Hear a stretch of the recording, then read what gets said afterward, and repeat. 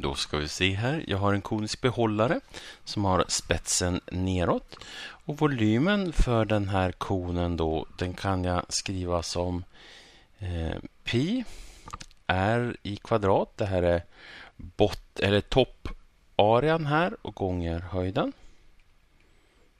Genom 3. Sådär.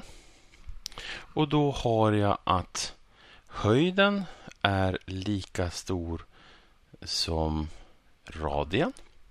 Så jag har att höjden är lika stor som radien. Det står i den första meningen. En konisk behållare har spetsen neråt och lika stor höjd som radie. Så det betyder att radien här kan jag skriva om som h. Så jag har att volymen är då detsamma som pi h i kvadrat gånger h genom 3. h i kvadrat gånger h, det blir h kubik. Så jag får v är lika med pi h upphöjt till 3 delat med 3. Så det där är uttrycket för volymen. Och behållaren läcker så att det rinner ut 360 kubikcentimeter per minut. Hur, förändras, hur förändras vätskenivån vid det läge då den är 18 centimeter?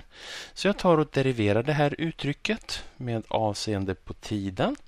Så då får jag dv dt är eh, lika med, först deriverar jag med avseende på h här, så jag får 3 pi h i kvadrat genom 3.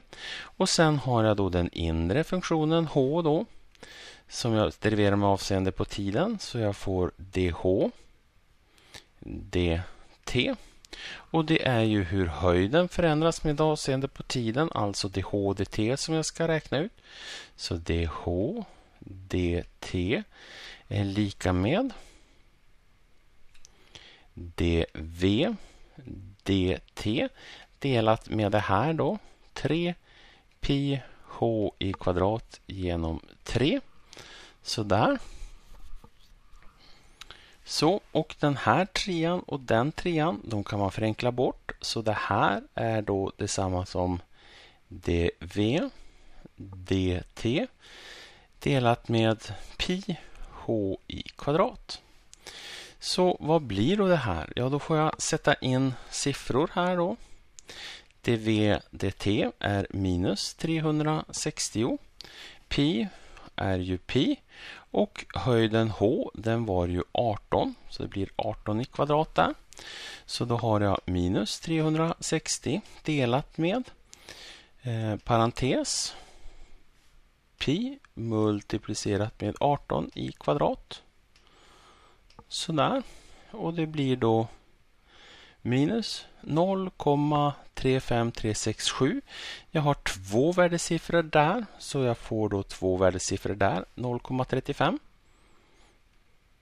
centimeter per minut. Så höjden minskar med 0,35 centimeter per minut.